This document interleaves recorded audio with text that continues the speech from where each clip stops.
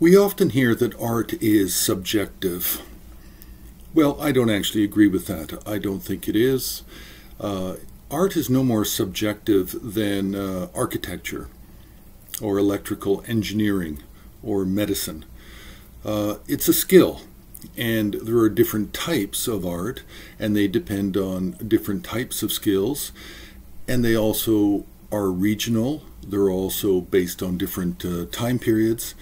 But no, art is not subjective. Maybe there are some individuals, when they're looking at art, then they have a subjective interpretation, or they like something or they don't like something. They might be trained, they might not be trained. But art is not subjective. And uh, we have a lot of we have a lot of examples in different museums around the world of really great pieces that are not always appreciated. Um, here I'm drawing your attention to a painting that I believe was painted by the 10th Karmapa Choying Dorje. There are some individuals who do not uh, necessarily believe or they're not um, uh, they're not totally persuaded that it is by the 10th Karmapa. But unless we have an inscription or unless we have some very firm uh, textual references as to when and how a piece uh, matching a description is created, then it can be difficult to know for sure. But on stylistic grounds, I am saying that I believe that this painting is done by the 10th Karmapa. It's a beautiful painting. It, according to my standards of beauty, it, it resides in the Rubin Museum of Art. Uh, the subject is uh, a wrathful figure uh, with one face and two arms. Uh, the head is very large, but it's supposed to be. The head is supposed to be um, one half the size of the torso. So basically, the whole, almost the whole body is is just three parts: head and and then uh, two two sort of parts of the torso. At the very top, we have a lama figure. We have a Tibetan teacher figure, which very much follows uh, the the style, or rather the the iconographic uh, figure of the ninth Karmapa we have other examples of the 10th Karmapa's work where he places a 9th Karmapa at the top.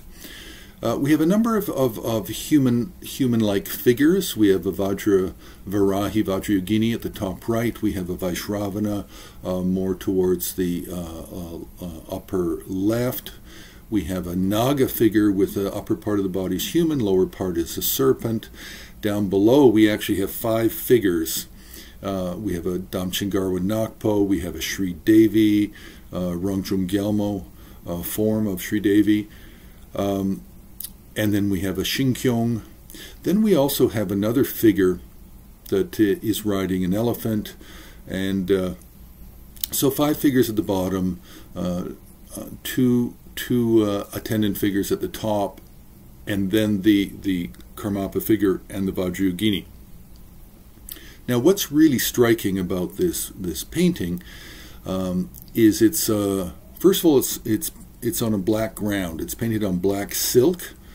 Um, it has uh, uh, brocade around, has a brocade frame around, and it actually has three veils. There are three veils, or, or what are sometimes called dust coverings, also, which is highly unusual. It's usually a sign of respect or importance. The most veils I've ever seen are five, and that's a, um, a an artwork from the Yuan period. Often an, an imperial gift can have uh, five veils. But three veils here is, is quite unusual. Now, when you look at the figures, what's really interesting when you're looking at Choying Dorje works, look at the human figures. All of the faces all look like they're just in the shape of a thumb, just a human thumb. They're, they're all thumb faces. Choying Dorje himself did not care that much about painting human figures. He really cared about animal figures. So if you look at the upper left again and look at the at the Vaishravana figure riding a lion, you'll see that the lion has a tremendous character in the face. Then if you move over to the Naga body immediately to the right, um, this is sort of yellowish gold figure with the serpent lower body, you, you'll see that there's some attention paid there. But then travel down again the left side to Damchen Garwa Nakpa, where he's riding a goat. And that goat, with the twisted horns and the face, is just wonderful in how it's been uh, executed. Really, Choying Dorje is trying to depict the animal as if it's uh, uh, real life. Um, it, it's a kind of almost a European 18th, 19th century style of, of, uh, of trying to show nature, naturalism, trying to really capture the different uh, flora, fauna, animals, uh, and fish and birds uh, that we find in nature. Then again, if you look at the elephant at the bottom center, it's, it's, it's face on, it's head on. This is very unusual. Beautifully done, beautiful line work. Now, the real the real amazing thing that we find in this painting is if you look at the Sri Devi and the Shinkyong, so it's the two figures that appear stacked on the right side, on the viewer's right. One of them is riding a horse and the other one is riding a donkey. And I bet you dollars to donuts that almost every viewer out there will be able to recognize what is the donkey and what is the horse. And this is really the beauty of Choying Dorje's work, is his uh, um, representing animals and animals in nature and the animals that he's interested in and that he runs across uh, during uh, the course of his lifetime. So press the like button. You can subscribe, you can share, you can also join HAR on Patreon.